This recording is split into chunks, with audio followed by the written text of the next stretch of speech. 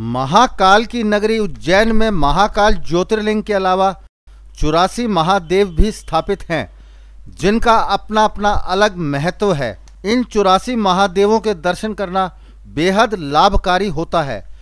आइए जानते हैं इन चौरासी महादेव के महत्व एवं इनके इतिहास के बारे में। उज्जैन के जयराम दास सनेही राम की बगीची के सामने स्थित संगमेश्वर महादेव चौरासी महादेवों में उनहत्तरवें नंबर के महादेव हैं। स्कंद पुराण के अनुसार कलिंग देश में सुबाहु नाम का एक राजा था।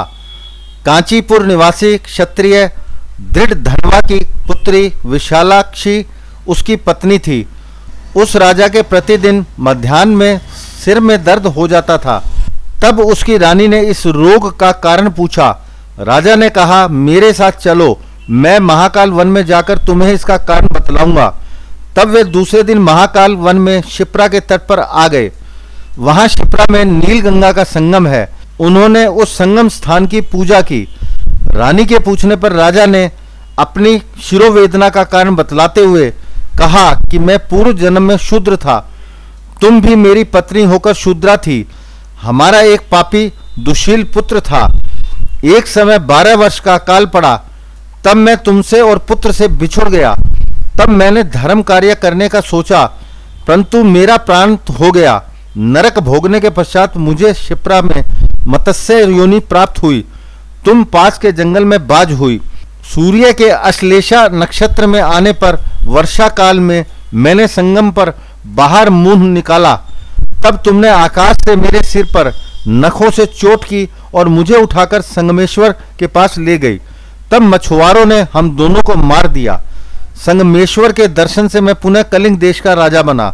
तुम कांची निवासी क्षत्रिय राजा की पुत्री हुई। इस लिंग के दर्शन से हम राजा रानी हुए। तुमने मेरे सिर पर पंजा मारा था, मछुआरों ने डंडा मारा था, उसे याद कर मेरे सिर में दर्द होता है। तब रानी ने कहा, संगमेश्वर के दर्शन से मुझे पूर्व जन्म का स्मरण हो आया है।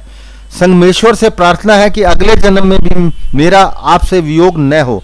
इस प्रकार दोनों ने अपने राज्य में जाकर सुख का भोग किया। संगमेश्वर के दर्शन से पत्नी पुत्र भाई आदि से वियोग नहीं होता है। चार माह तक संगमेश्वर का दर्शन करने से वह शिवलोक को प्राप्त करता है। मेरा नाम पंडित शैलेंद्र पंड्या है।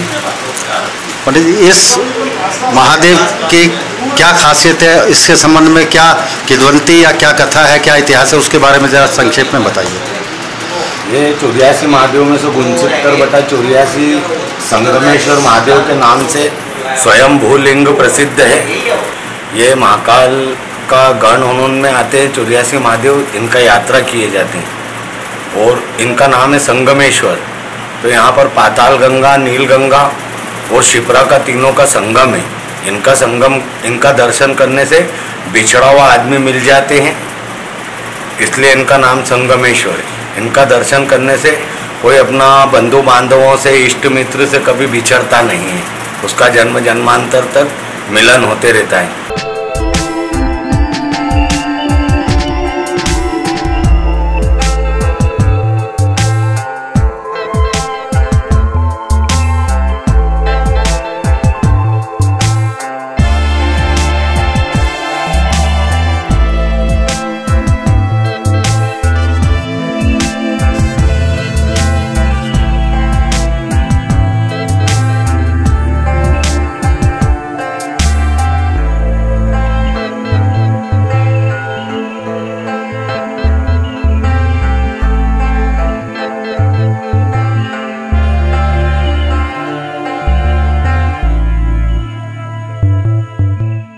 चौरासी महादेवों के महत्व को जानने के लिए और उनके साक्षात दर्शन के लिए हमारे YouTube चैनल को आज ही सब्सक्राइब करें और ज़्यादा से ज़्यादा लाइक व शेयर करें ताकि बाकी लोग भी इसके महत्व और इनकी महत्ता के बारे में जान सकें। ओम नमः शिवाय।